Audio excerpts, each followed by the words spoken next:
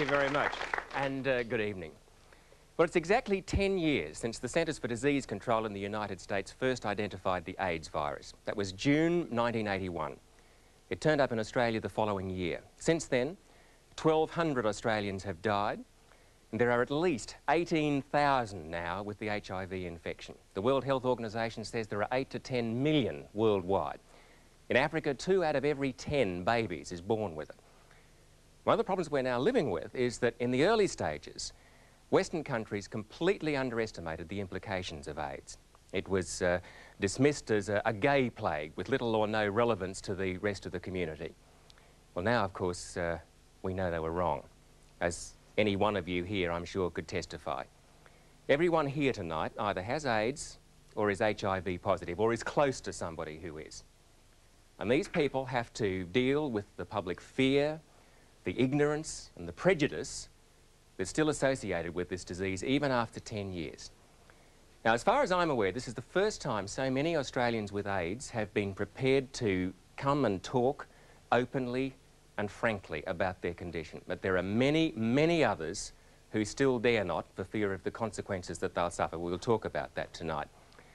Jane Maloney, I'm interested in your story because I think probably you're part of the new wave of infections that the doctors believe they now have to deal with. Just, just tell us a little bit about how you got infected. I mean, I know it's a long story, but just, just, just take it in steps. Through an IV drug user. He infected me and I infected my son. Mm. He's got it at the moment. You were living with this man in a, yes. in a stable relationship. Yes. Did he know he was HIV positive, that yes, he was infectious? he did. He did? Yep. But he never told you, obviously? No. I didn't know until I was pregnant again. When I went for So you test. have one child, and you still had no idea that uh, you might have become HIV positive, that your child might be HIV positive? No, I didn't. Because I had one before my son, and she's negative. My son's positive, I'm positive. Uh -huh. So how did you find out? I found out I was pregnant, so I went for a normal blood test for a pregnancy, and he done an HIV test on me. And I had to go back for another checkup to repeat the test. So he checked, tested the children at the same time. My daughter negative, my son and my eye positive. I was more shocked than anything. Well, I can imagine you were. And what did your um, I mean, you weren't actually married to this man, but you had been living together for some time. I mean, when you confronted him... He said it wasn't his problem. It was my problem. I had to figure out what I wanted to do. So I came to say, I went down to Sydney, to the hospitals down there, and I've been coming back since. And he then left you, didn't he? Yes. And he, he married somebody else? He's married someone else. He has infected them two children as well. Plus he's got another and one. his wife? And his wife. Plus he's got another one, little daughter running around also infected. So he's damaged three families. He certainly has. Do you think he knew what his responsibilities were? I mean, was he naive about this, or was he being deliberately irresponsible? I suppose you've got a pretty jaundiced view of this. I'd say he was deliberately ignoring it because he didn't get help until the last minute when it was too late to be helped. So he, he basically just refused to accept himself that he was infectious, that if he was having sex with anybody else, he was going to be very likely to infect them. Yep. So what's your condition now? You're I'm HIV positive. I'm HIV, but I'm still asymptomatic. And what about your little boy? Well, he was asymptomatic until March this year. He's now age-related which is a big jump for a two and a half year old. Peter O'Toole, how long have you been HIV positive? um, I can tell you exactly the date I was diagnosed and what time, if you like. Mm. it was at 20 past 10 on February the 6th, 1984. So, so that was back in the years. early days? Yeah, eight years, getting on to eight years. So... And how did you get infected? Through sharing needles. Uh, well, what else? What, in 1984, I, I suppose you didn't know what the risks were. There, there was no public information around at the time about the risks uh, involved in sharing needles and syringes. Uh, only that it was a gay disease, Mm. and So you thought it had nothing to do with you, probably? no. One day, well, over a period of time, became sick with a fairly uh, strong bout of glandular fever, and uh, went to my doctor at the time, who was a drug specialist or a drug rehab specialist, Mm.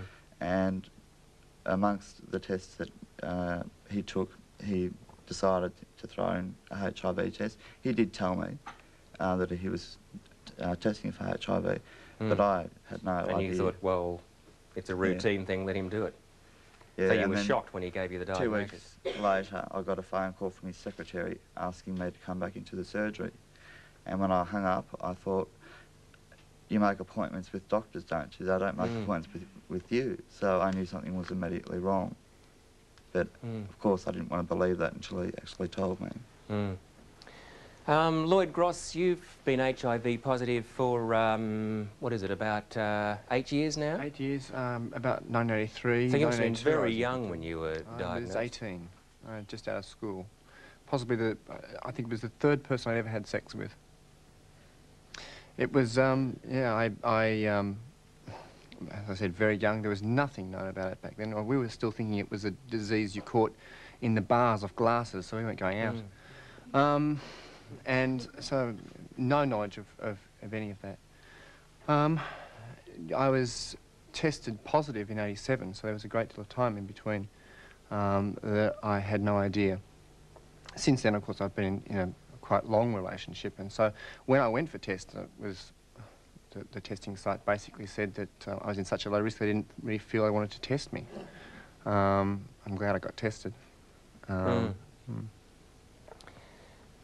What about some of the rest of you? I mean, there's such a wide range. Troy, yes. What about you? I've had HIV positive for almost all of my life.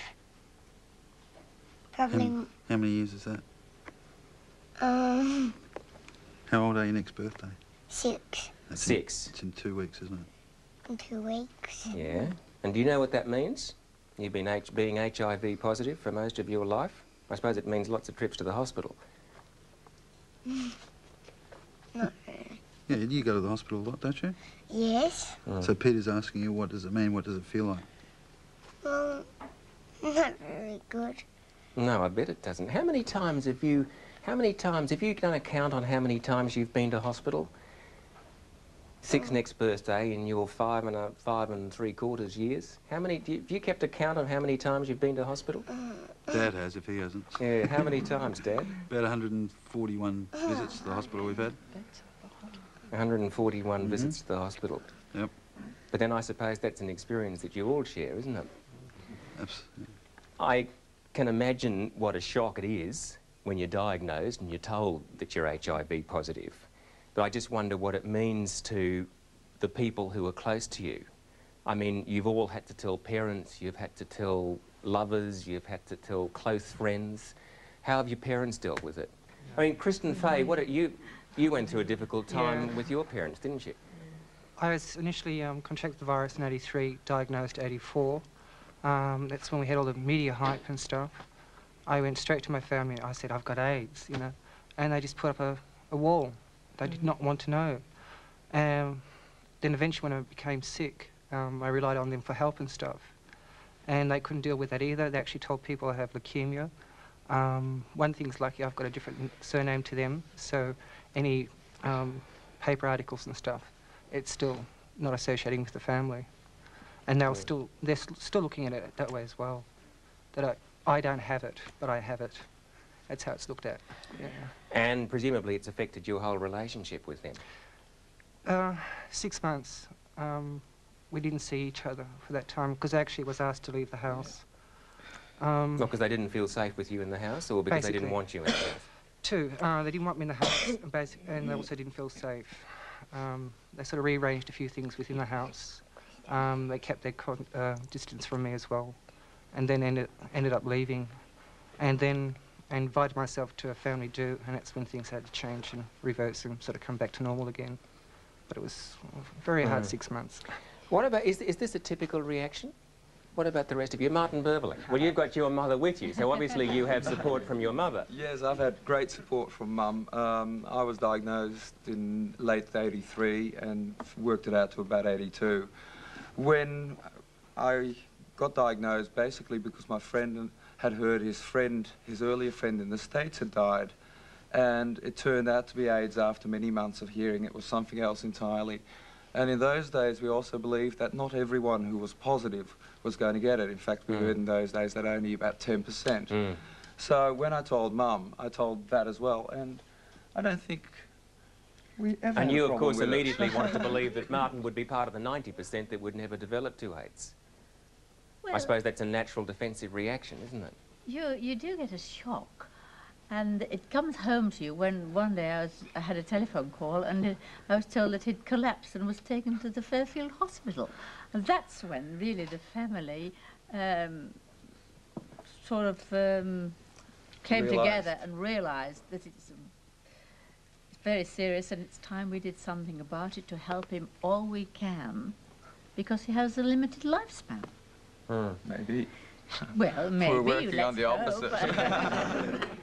You're in there But fighting. I'm forever an optimist, and we can always hope. But I find it interesting. I mean, it seems to me, I don't know whether this is typical, but fathers find it harder to come to terms with than mothers. Is this uh, typical, or is this just some of the cases that are more obvious? That's typical.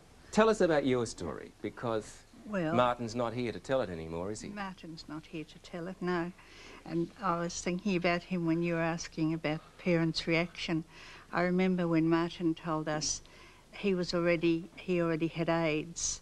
He didn't know at any time that he was HIV infected, um, and he had come home from Europe, and he told us that he had AIDS, and I thought that we took the news very well in our family. Um, But but he told you, didn't he? he told he didn't me. tell his father. He didn't tell his father. He told me, and I asked him not to tell his father, to allow me to tell his father, which I did, and his father, of course, handled the whole thing much better than I did, and uh, had already suspected that something like this might be happening, and. Uh, What made you suspect that uh, he may have had AIDS, Ron? Well, we visited Martin in Europe in 1983, and uh, he had a boyfriend there, and I saw them looking at an article in a Dutch paper about AIDS, which was very new then.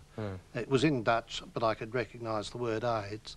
I thought no more about it, but when we visited again in 85, he'd had a, a lot of problems with um, an abscess on his tooth that wouldn't heal and things like that. Again, it didn't register, but when we got a message through his department where he worked that he was rushed to hospital with pneumonia, I was sure I knew what the trouble was. So you'd been quietly reading up about this without saying Not- anything? No, not necessarily. I Yeah. just had seen these little things which meant nothing to me.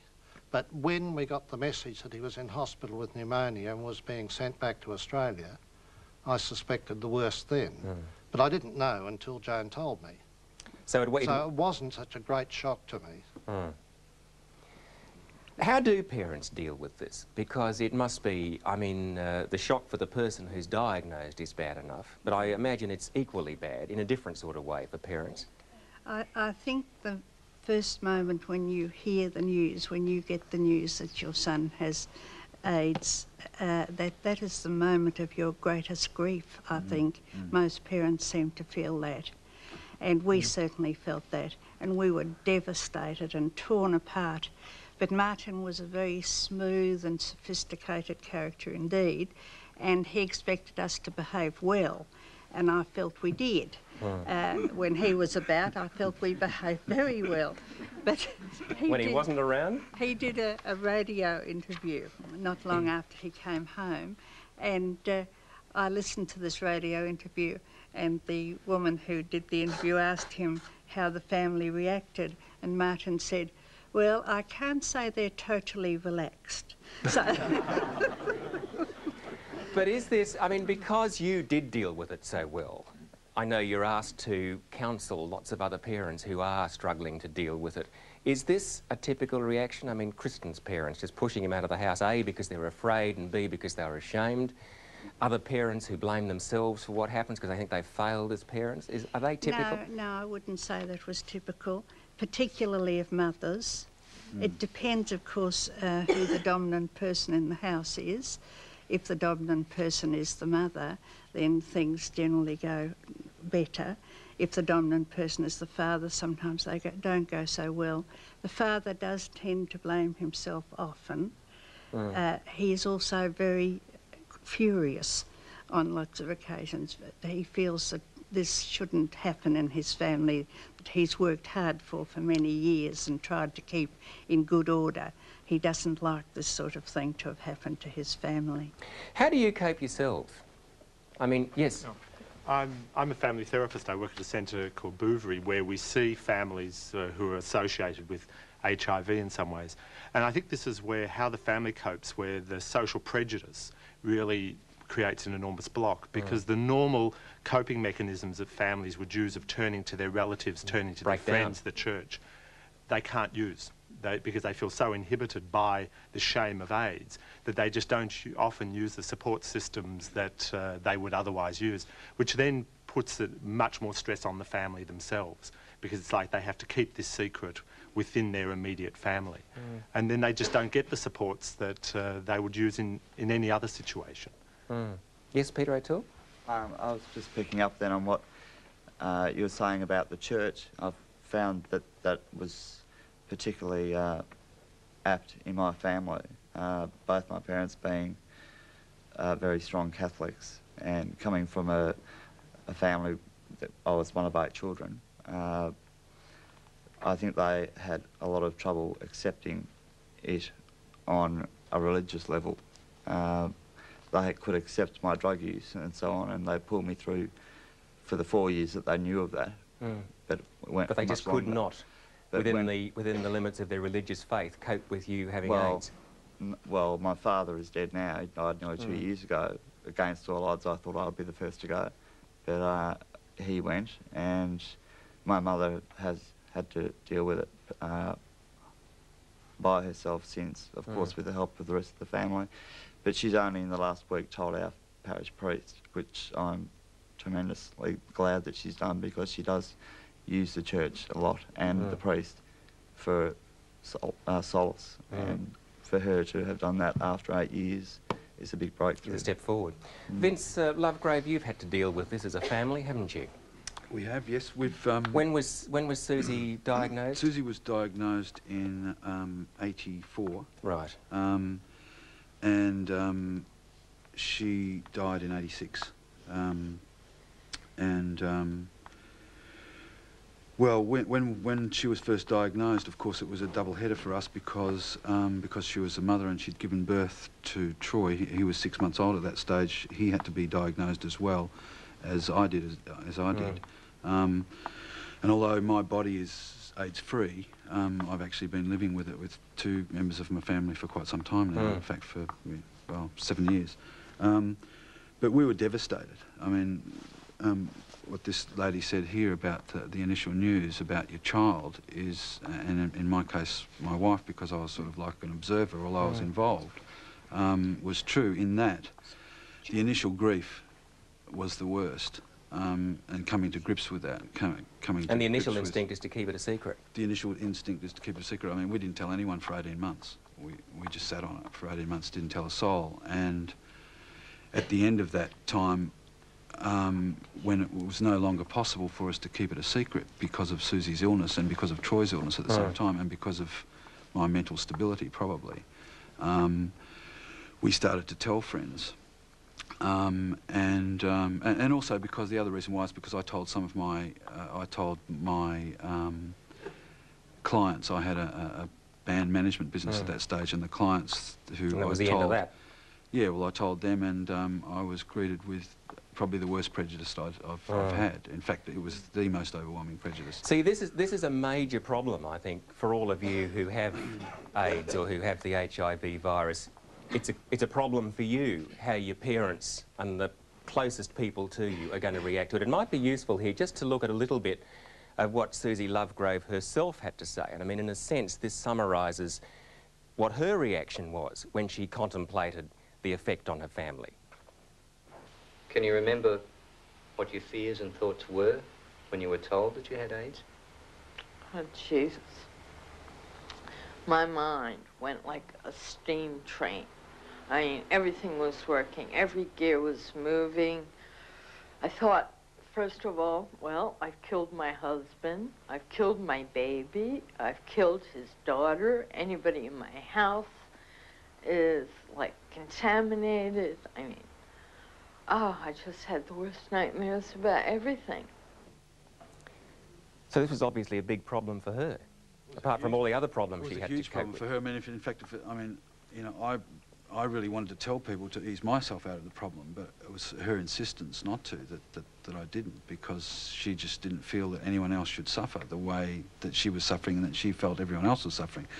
Uh, ironically, at the end of that period of time, when we kept it a secret, um, and we started to tell people, we of course went to the opposite extreme, the results of which, you, a portion of which you just saw, the film. Mm. We felt, bugger this, if this is the way everyone's going to have to deal with it, then we've got nothing to lose, let's just tell everyone what it's like. Yeah, I guess And- you were probably the first really to come out and make a major public statement well, that was the only this. way we could feel that we could deal with it an- anymore, and we could help. And in her case, particularly to help others, because it was we definitely made the wrong move. It's definitely not the right way to go. Is to keep it to yourself mm. because you suffer further. How do the rest of you deal with this problem of the reaction of your parents and so on? Because this is obviously something that weighs heavily on you, is it? Well, I mean, one of the major reactions of my father was the fact that not only did I have to tell them I was HIV infected, I also had to tell them I was gay as well. Right. So there's a lot of people out there that are afraid to come out to tell their, their family that they're HIV infected because they also have to deal with the stigma Mm. that their family puts on them for being gay as well. So you've got a father and mother and family trying to, to cope with all sorts of things all at once. So, um, you know, sort of the, the discrimination that happens, they sort of go, you're gay, well, you deserve it. Mm. Or they say, um, then they try to deal with that for a while. And then you have to sort of let them process that. And then they try to process the sort of HIV infection. So a Mm. lot of the discrimination that people with HIV face within families is because there's so much stigmatization on people that are gay as well. So Sure. you've got to weigh up the two. So that, but the stigmatisation and so on that they're feeling, you obviously feel too, because because they are the closest people to you in the world, you're going through the turmoil that they're going through. and you want their support, mm. and you want your friends' support, and you want your, your workplace for support, and you want, you know, people around you to su- support you. But if they're not going to support you because, one, because you're gay, and then two, because you're HIV infected, then you really feel isolated and you really feel alone out there. What about this question of discrimination? I mean, how how alive is this now? I mean, is this something of the past? I mean, do you still suffer stigmatisation and discrimination because you say you're HIV, regardless of how you might have been infected? Here first. Uh, Peter, uh, I'm a social worker working in the area, and um, I'd just like to say yes, it's still very strong, unfortunately. Um, the number of clients that I have, I, I can even just quote a client this week who unfortunately has been given the sack, told to actually leave his workplace in the afternoon when he had no idea they even knew that he actually had the virus. Well, he's actually um, has the AIDS now.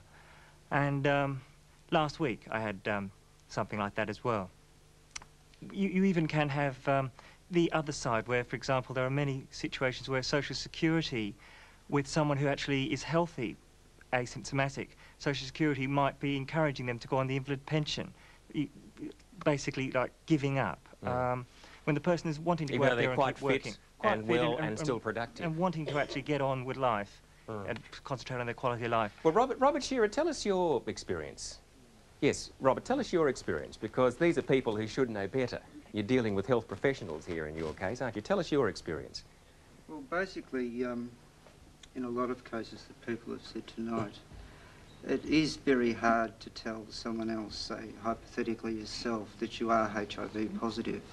Uh, that alone is enough for anyone to cope with. Um, in the health profession myself, uh, such as the dental hospital, uh, where I had had treatment a number of times over the years uh, through taking a um, referral to the dental hospital itself. There are people who still panic within the hospital who are doctors, nurses, dental technicians who find that very hard to cope with. So you do the right thing and point out that you're HIV positive so they can take all the precautions they may Well, want to naturally, take. you have to. But tell us about the reaction of one of the uh, dentists who was working with you. Well, basically, the dentist who was performing the work um, my mouth was numb at the time for having um, an extraction. And of course, um, he had his staff around him, and while I was sitting in the chair, the dentist turned around and said, look, stand, stand back from this person. He's HIV infectious. He has the AIDS virus. Don't get any blood on you. And um, in case you catch AIDS. And basically, he didn't want to perform the work because um, he turned around and said, it's pointless performing an, an extraction, uh, following up with work on your teeth because of, um, sorry. Wouldn't be around. Yeah, because you're not going to be Because around. I wouldn't be around long, Mm. which I thought was absolutely disgusting. Mm. It wouldn't make you feel great. Well, Andrew Morgan, tell us about your experiences trying to get a flat. Um, and I'll also reiterate that I had a client, I worked for the AIDS Council of New South Wales last week, who was given a set of ill-fitting dentures, who was asymptomatic but HIV positive three weeks ago. Uh, when he complained about his ill-fitting dentures, he was told by his dental uh, dentist No at point the dental wasting hospital, good money on you, you're not going to be around He long. had to put up with them because he wouldn't need them for a very long time anyway. Uh, Whereas in actual fact, I mean, many of you have been around HIV positive for eight and nine years, haven't you? Yeah, right. Um, when I was diagnosed in 1985, I went through a great deal of distress and it was suggested by my employer um, that perhaps I needed a lot of time off right now and I should find another job after I'd get over this diagnosis, um, where it was my wish at the time to continue work. Um, and last week, I mean, it's still happening. This is 1991 and things should be different but because there's been no essentially effective education campaigns for people with HIV. Um, I applied for housing last week through a real estate agent to rent a house. I had my partner with me who was um, also looking at the houses, who is a visually ill man now. His uh, symptoms are such that you can tell he's been experiencing Mm. some sort of illness. When I filled out my application form, my place of employment is the AIDS Council of New South Wales. Um, I rang to see if we had been given the house and the real estate agent told me that none of my references actually checked out. His reference to place who I was in his mind was, you're the man from the AIDS Council with the sick friend, aren't you? Um, when I checked my references, none of them had actually been rung.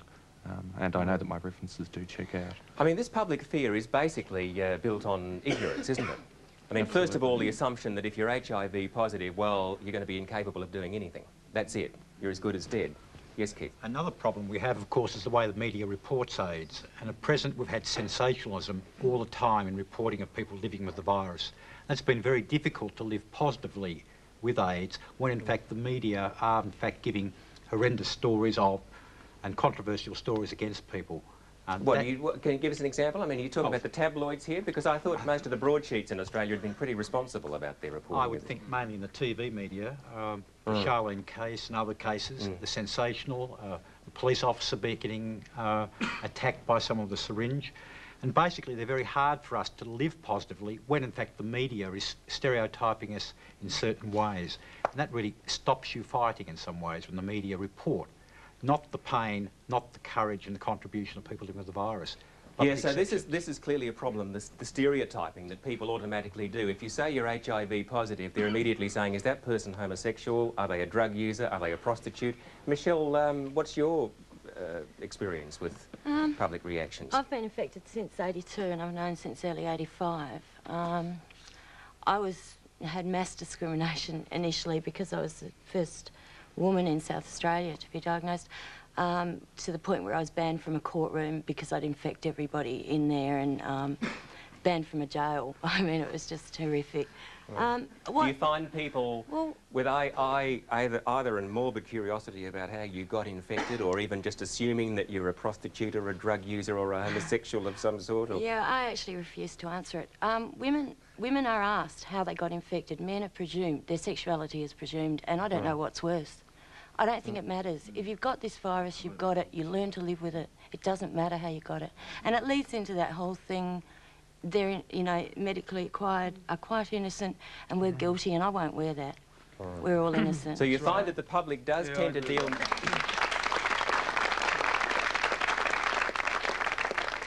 So you find that the public does tend to deal more sympathetically with people who they can feel, uh, well, what about IV drug users? I mean, I- I- anyone who's not homosexual is dealt with more sympathetically. Is that right, or No, not at all. not? Not. Not at all. No, right. Um, IV drug users, I think, have been discriminated against for as long as homosexuals have. uh, because, well, for longer actually, because homosexuality in Victoria has been legalised or de- decriminalised, whereas IV drug use hasn't, uh, and probably won't for a long time, regardless of what Carl Blair has said. in Do you feel, I'm just interested though, Peter, do you feel obliged to tell people how you got infected because that affects their reaction? I don't feel obliged, but I don't like being presumed to be gay. I find I had enough of that when I was a hairdresser. You're, if you're a, hair, a No, but why is that? But that, that sort of presupposes that you do get a harder time if you're well, gay. you're you're gay until proven innocent, or proven otherwise. You know, um, and in my case, I had to prove otherwise by letting people know that I was a drug user, and that's how I caught it. And Mm. it doesn't matter whether you're gay or not, or whether you've used drugs, or whether you're a haemophiliac. I think if compensation is meant to be given to anyone, it should be to all of us, or none, none at all. Mm. John Walden, tell us about your experience. Um, you've certainly been through the mill, haven't you? Oh, just a little bit. Yes. I was diagnosed in early 86 and uh, uh, self-destruct like most of us have been through, you know, two years and uh, I was drinking a lot and just trying to cope with the virus itself. And two years later I woke up and thought, hang on, why aren't I dead yet, you know? So I decided to travel up north. Um, I found this nice little place, Cardwell, up in northern Queensland, and uh, there was a knock on my door, and the police come in and started searching my place for drugs, you know. I used to drink down the pub a bit. I don't know. They must have thought I was a drug dealer or Mm. something. Were you a user? Yes, that's Mm. how I got the virus, yeah. Mm. But uh, I had no drugs. Uh, And uh, they went through my wallet and they said, how come you're on sickness benefits? You know? And I said, I'm HIV. And they said, what? And uh, I said, AIDS. Well, they stopped searching and left straight away. Gone. And uh, which I thought was pretty good because I didn't mess the place up too much. and uh, but the next day I had mothers knocking on my door saying, "How come you're living here? I've got children running around and you've got AIDS." Now I only told one person. That was There was the a policeman. You know.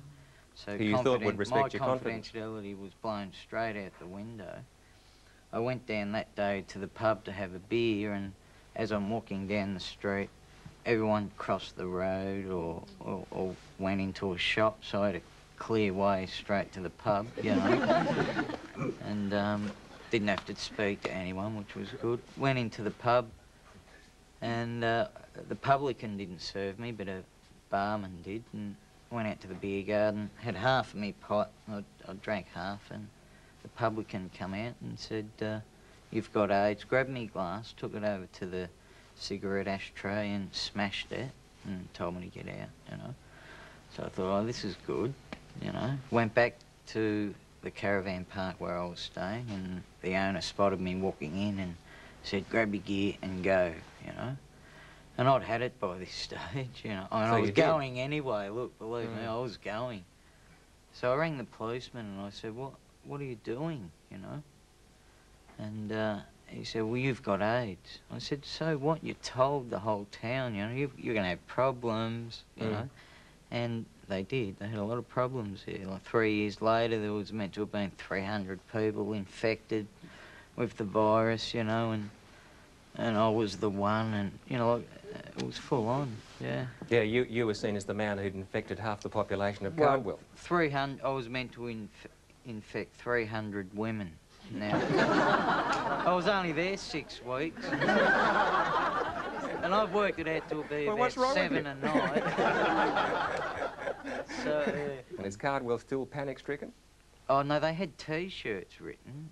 It was amazing. The tourist bureau were making a lot of money out of it. I wanted a cut. They had these T-shirts that said, um, "The ac- uh, if the Axemen don't get you, AIDS will." And the Axemen were a local football team.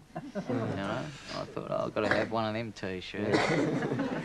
Vince, have you had any problems with Troy? I mean, Well, no, I must say, child, I mean, lis- listening to all this, I can relate to it all because I have experienced um, um, degrees of prejudice and very heavily so. And because there was nobody who could counsel us as to what to do, we basically, we being Troy and I, um, confronted these situations in consultation with Troy's doctor, Dr. Ziegler, who came in after I, I Hmm. belted the doors in.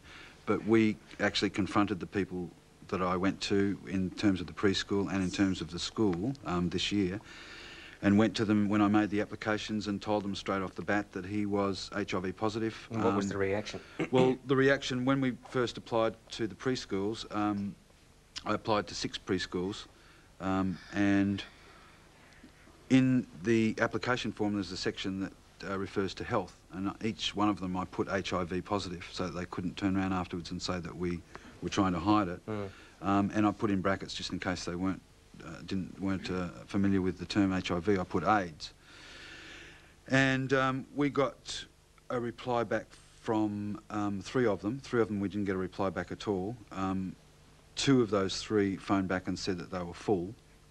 Um, when I knew they weren't, I Hmm. knew they weren't full. But we did get a reply back from one, which was in Randwick, and um, they were fantastic, uh, mainly through to through the um, bravery of the principal at that stage.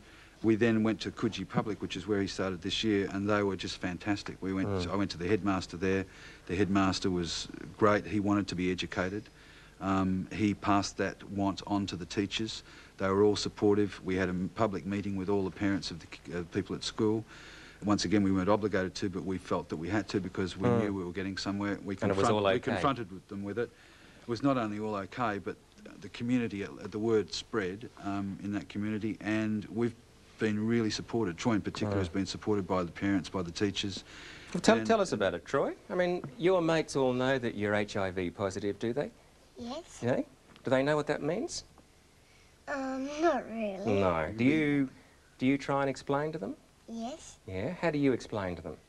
How would you explain to me about it? I told him that I got them from my mum. hmm Um, You tell them they shouldn't be afraid of you? They wouldn't be scared of you, would they? no. No. Do they ever ask you about you dying or anything like that? Mm, Do you think about it though sometimes, don't you? Because you know what happens, what can happen. Mm. And what do you say to them? Um, they don't necessarily thing about me dying or They don't. no. Well, that's good. Because if you're thinking about it, you don't want them thinking about it too. One's enough, isn't it? Yes. Yes. Yes. That makes the point that one of the sort of the popular misconceptions that makes it very difficult for people to cope in families, for instance, is this notion that HIV positive equals imminent death. You know, that once Mm. you're, you're HIV positive, therefore you have AIDS, therefore you're going to die soon. And I guess what you're hearing from here is a lot of people where there is an enormously long period of being HIV positive and being healthy. And even after an AIDS diagnosis, that doesn't mean it's a downhill course. And that's, I think, if we can get anything across that, you know, to change the perceptions, would be that notion that being HIV positive doesn't mean you're about to die. You know, it Mm. means you might have quite a long life ahead of you and Mm. quite healthy. As a matter of interest, what is the longest? I, I was saying before eight years. We have, I know several people here who've been HIV positive for eight years and are still perfectly fit. Anybody longer than eight years? I get 10 years next month. Ten years next month. And how's you, are you still working? Uh, sometimes, yeah, when I'm at my desk. yeah, I'm working full time. My health is fine. Right. Yes, somebody up the back wanted to make a point. Uh, I'd just like to say that health professionals also do experience some discrimination. Mm. And when I first, I uh, work as a nurse. In, in an AIDS ward, obviously. Yes. And when I first started in 86, it was a fairly new disease in Australia still. And certainly with my family, I know there was an enormous amount of concern, or there was no actual discrimination, but there was uh, some concern about me going to work in an AIDS ward. And certainly where I was previously working, um, when I had resigned from my position there, and people uh, obviously asked you where you're going to go, and I told them I was going to go and look after people with AIDS. Well, the response was not, oh, that'll be interesting or how exciting. What an It was just interesting way to commit suicide, I suppose, was the reaction. Attitude of like, well, why would you want to do something like that? Mm. And it was very negative. Well, what do you do to change the public perceptions of AIDS and especially people who are HIV positive? What do you do? Because from what you've explained here, a lot of it is based on fear and ignorance rather than prejudice. Is that right? It's based on a sense of other. That it's a bit like the stuff with, with gay men and women. There's hundreds of thousands in Australia, but they're no one's children or brothers and sisters or neighbours. Now, we're hearing about the stories of discrimination here, but because of the, the trouble with, with secrecy and silence, no one in our community owns that they have uh, neighbours or workmates or friends with, with HIV. Therefore, it can be kept at a distance. Now, I can go down Swanston Street and, and from a tram window see people all the time whose lives have been hit by AIDS because I work in the area. Mm. But I know that no one in their world knows it. What we need is, is people like yourself to talk about friends you have or a, a mm. prime minister, whoever it might be, to cry on television because his, his, one of his close people has AIDS. We have Princess Di hugging babies in, in London. Fantastic stuff. Mm. Well, I suppose it's that sort of business. I suppose the fact that all of you have been prepared to come forward with names, Mm. faces, uh, in a quite unembarrassed way is But at least a first step because yes.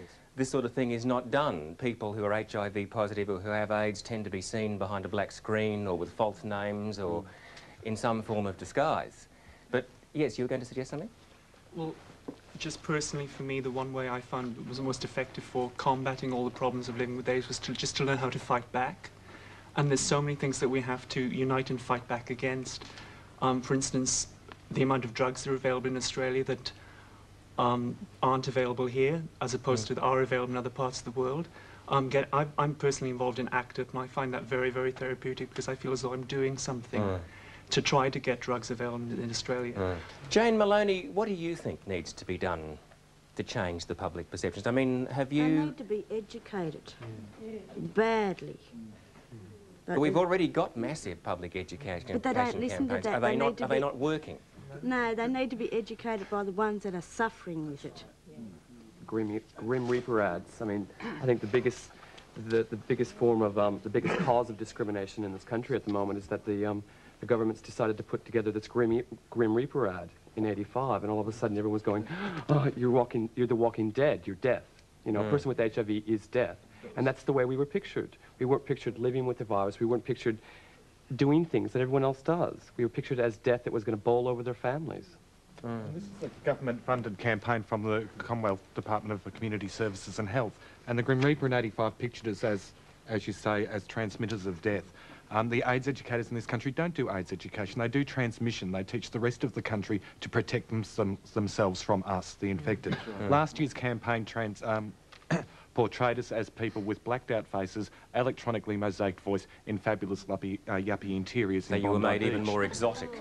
Yes. And we still didn't have faces. Where are the campaigns that show the people with HIV in this country that have been working in AIDS since 1981, 1982, 1983, have been supporting and educating their own communities, are leading very heroic lives, and are dying very dignified deaths? Where are those campaigns that show the rest of Australia that we need education, drug treatments, support and care? Not that they need to be afraid of us and protect themselves from us. Sure. Our own See- Department of Health is responsible.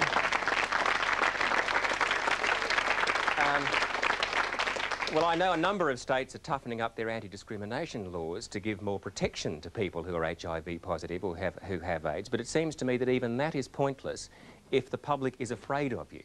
Uh, uh, how do you overcome the public fear?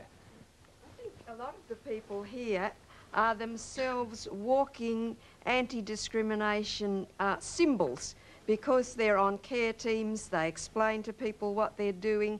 People say, why on earth are you doing that? They Mm. explain carefully, and that is an education. So bit by bit, That's right. you are and helping I'm to... proud to be part of a joint thing with churches and the um, AIDS Council uh, working together to provide people to help on s- support teams.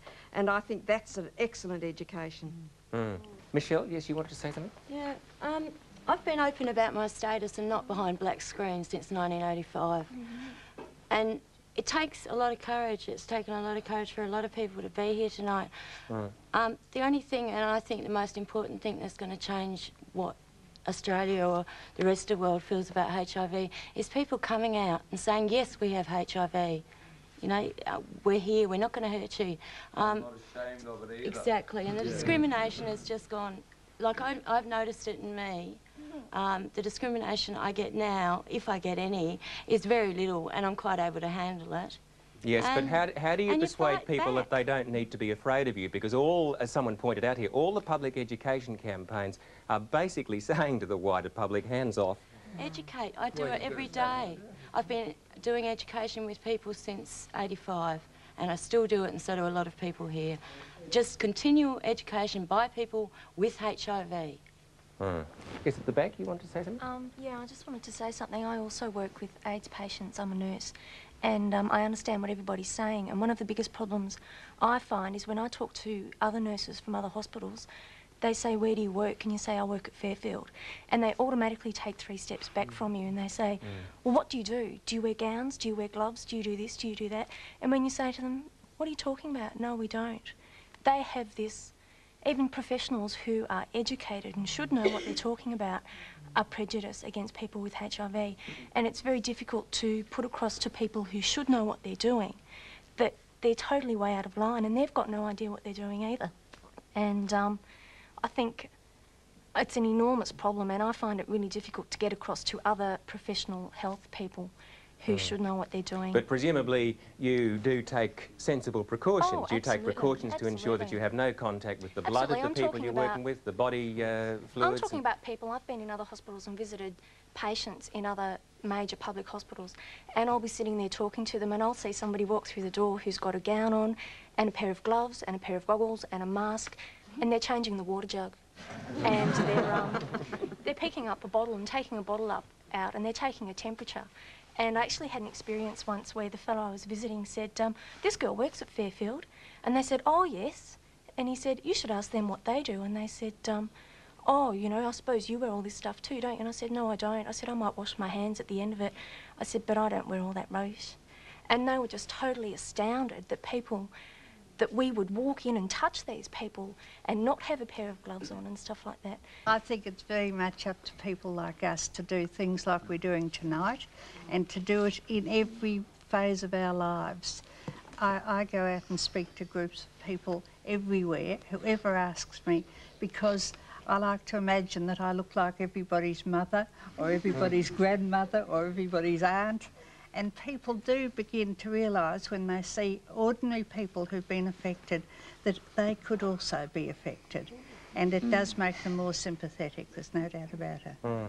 Could we, um, and we're running close to the end of our time here, I'm just interested in how all of you cope. We talked about your families, we've talked about the problems with the wider public. How do the rest, Martin Berbling, how do you deal with it? Because you Well- seem to me to have a very positive attitude. Yeah, basically I tend to deal with it by being an absolute nut, which doesn't mean to say that there aren't moments when I just like, I'm so depressed that I say, look, why doesn't it just come and get me and please get it over with? But um, actually when Mum said earlier that the first time she dealt with it was when I collapsed at the factory was actually when I was standing there watching a printing machine and there was this two-way conversation in my head, one saying, look, it's not worth it, kill yourself. The other one, no, I've, you know, hmm. and that was basically why I collapsed. It was so intense, and that from then on, it was a gradual build-up of answering all the questions from both sides, from both, you know, whatever can happen either side, if I live, if I die. I'm happy with all the answers, and now I've got peace. It's great. Hmm. That's how I deal with it. Um, how I cope with it is um, I fight back. I um, I do everything I can to um, to make sure that if I do get sick, that I've got the treatments available for me. I um, I march, I demonstrate, I scream, I yell, I write articles, I do newspaper interviews, we do radio interviews, we organize bars, clubs into this country. We try to get the government to allow us to cope. Mm. And that's what we have to do, you know. We have to sit there and we have to make the government allow us to cope. Well, I'm glad you're all still mm. fighting. If you weren't still fighting, you wouldn't be here tonight. And I do appreciate what you've done to come here and talk about yourselves in such a, a frank and very personal way. And I hope you've achieved at least something by doing it all. Thank you very much, and we'll be back next Wednesday night. Good night until then.